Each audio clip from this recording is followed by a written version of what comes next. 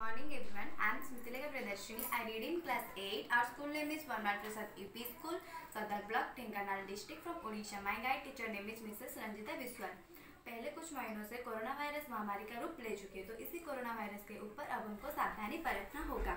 जैसे कि पृथ्वी में जितने भी साधन हैं, उनमें से मानव साधन से बढ़कर और कुछ नहीं है। तो इस साधन को इस संकट की घड़ी से सुरक्षा देने के लिए मेरी इस प्रकल्प एक छोटा सा प्रयास है।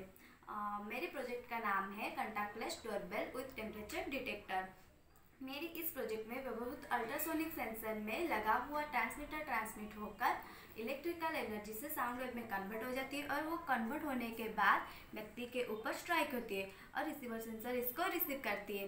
तो मैंने इसी प्रिंसिपल से मेरी प्रोजेक्ट को तैयार की हूँ।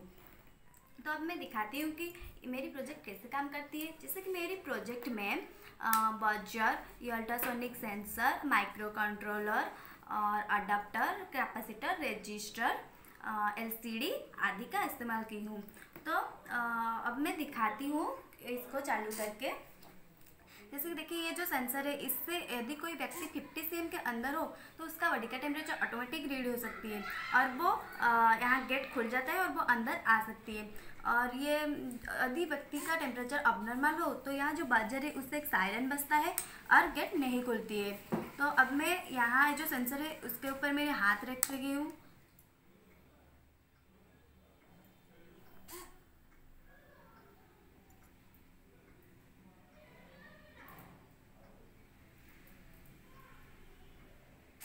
देखिए, मेरी बॉडी का टेम्परेचर नॉर्मल है तो इसीलिए गेट खुल गया तो मतलब मैं अंदर आ सकती हूँ। तो अब मैं यहाँ एक हाई टेम्परेचर का वस्तु यूज़ करूँगी। जैसे कि देखिए, मैं इसके ऊपर इसको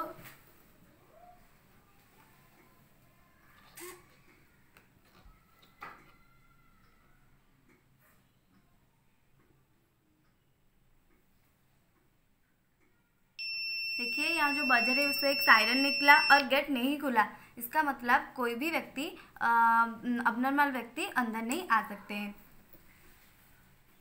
वास्तव में यहाँ एक थर्मल कैमरा और इस गेट के पास एक डिसइंफेक्शन टनल यूज़ होगा, जो कि व्यक्ति के एंटर बॉडी को सैनिटाइजर होगा और वो अंदर आ सकती है। और अगर कोई भी व्यक्ति बीमार हो तो उस बीमार को फैलाने से रोका जा सकता है इस प्रकल्प के सहारे से। Uh, thank you. Have a nice day.